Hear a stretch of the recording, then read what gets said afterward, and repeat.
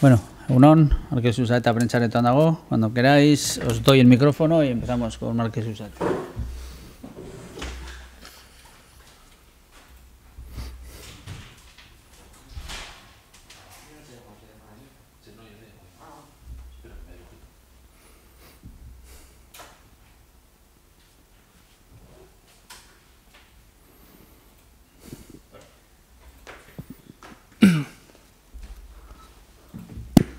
Markel, Egunon. Unón.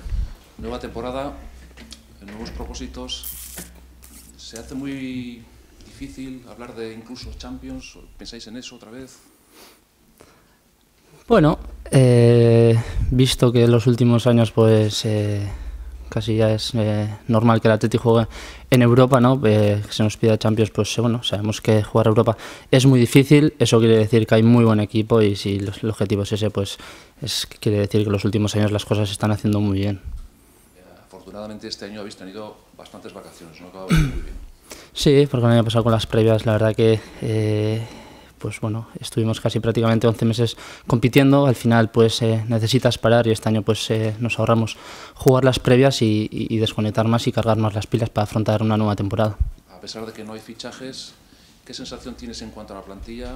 ¿Hay jugadores que tienen que madurar? ¿Hay mejor equipo que la temporada pasada? Hombre, mejor no porque se ha ido Gurpegui, ¿no? Pero eh, pues bueno, los, todos los jugadores pues cogemos un año más de experiencia y, y, bueno, eso pues quiere decir que la gente ya está más, más, más hecha. Y hablando de Burpegui, ¿qué importancia le das al hecho de que esté precisamente con vosotros este año? Pues bueno, eh, personalmente, digo, últimamente después de tantos años en el primer equipo, eh, visto cómo, cómo se le quería en el vestuario, pues que siga entre nosotros, pues es una, una gran noticia pa- para todos nosotros.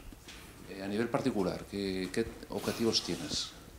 Pues seguir mejorando, seguir mejorando, eh, jugar partidos, eh, eh, bueno, eh, ver, que, ver que, que, bueno, que tienes importancia en el equipo y, y, bueno, pero lo importante es eh, que el equipo vaya bien y ya está.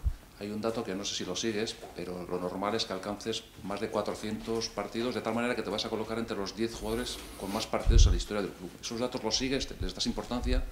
Sí, bueno, eh, de vez en cuando pues lo sigues, pero tampoco le quieres dar mucha importancia. Quieres ir eh, eh, día a día, eh, venir todos los días a entrenar, disfrutar del momento y ya pues ya cuando una se deje el fútbol ya pues mirar todo, todo lo hecho. Y en cuanto a goles, por ejemplo, también imagino que aumentar la, la factura, ¿no? Sí, claro, te he dicho antes, mejorar. eh, Mejorar la cifra goleadora, mejorar eh, asistencias, mejorar eh, defensivamente, mejorar todo, ¿no? Yo creo que todos los jugadores tenemos mucho que aprender, todavía soy joven y, y- y yo también tengo mucho, mucho que mejorar.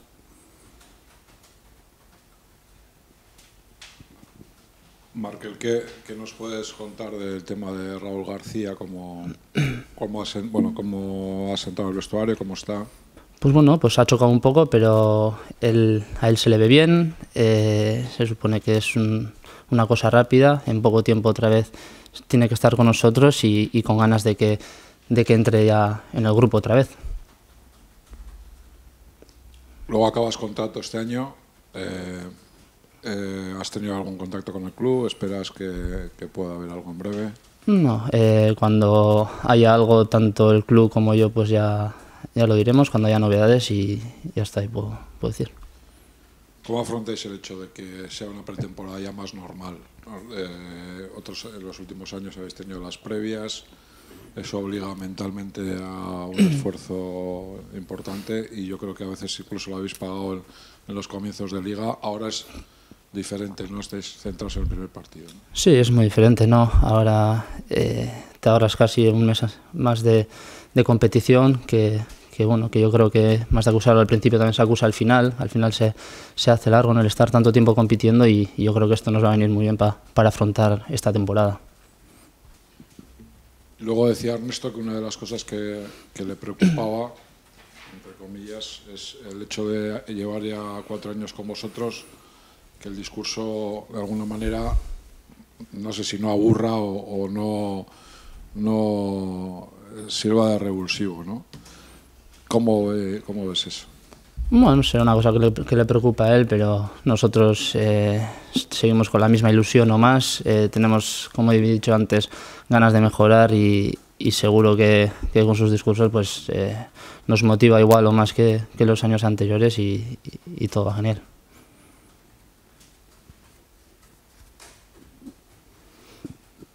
Con la llegada de Merino y Williams el año pasado, la competencia por el puesto ha aumentado bastante, ¿no?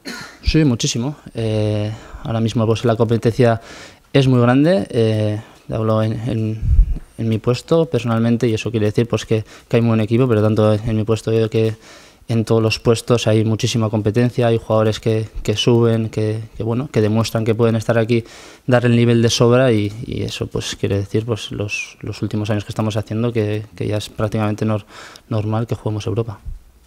¿Y eso a ti te motiva o te hace replantearte algunas cosas?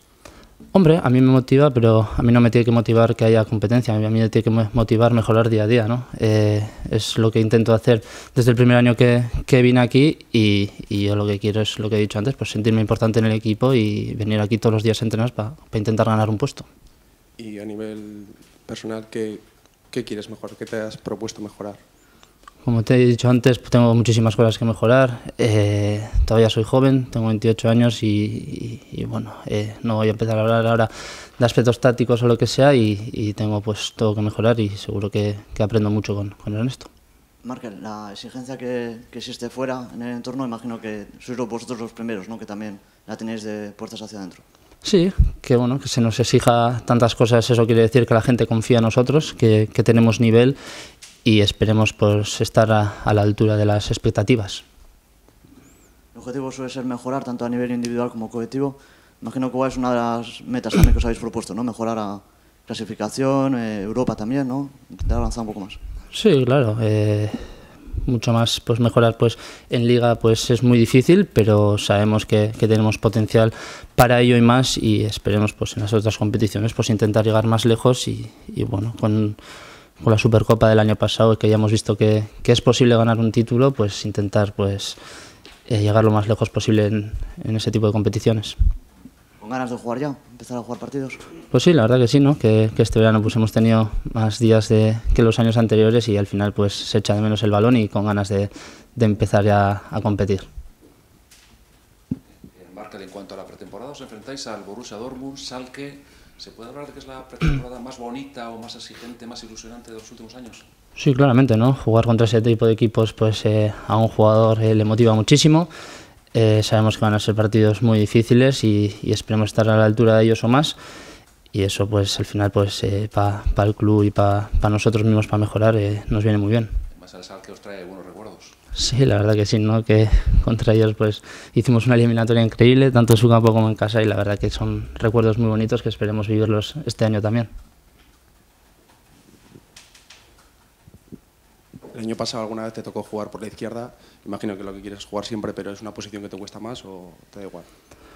O menos que cueste más o menos, ¿no? Yo estoy más acostumbrado a jugar eh, por la derecha, desde que subí al primer equipo juego en la derecha, pero, pero si el entrenador ve conveniente que juegue en la izquierda, pues bienvenido sea y, bueno, puede que esté menos acostumbrado, pero, pero también me siento, me siento cómodo. Muy bien, no hay más preguntas. Gregasco, y.